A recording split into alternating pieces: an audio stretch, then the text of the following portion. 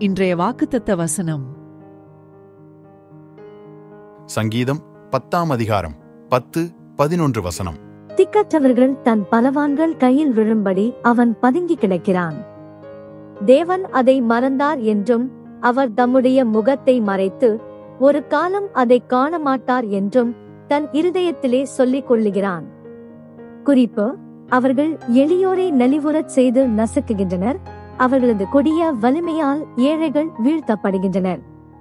தேவன் அதை மறந்தார் என்றும் அவர் தம்முடைய முகத்தை மறைத்து ஒரு காலம் அதை காண மாட்டார் என்றும் தன் இருதயத்திலே சொல்லிக் கொள்ளுகிறான்.